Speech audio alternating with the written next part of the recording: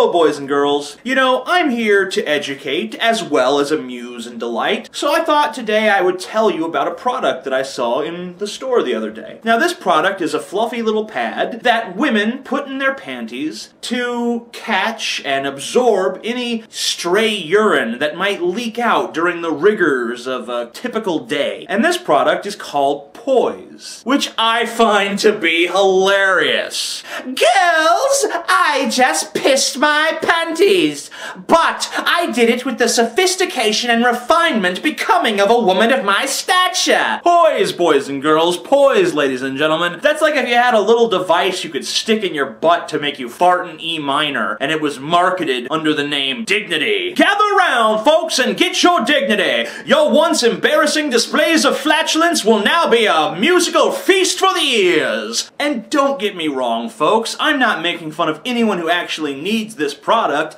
I'm just making fun of all the smoke that we have to blow up our own asses. It's just one of the cuter and funnier instances of Orwellian doublespeak worming its way into our culture. I am a chicken. What?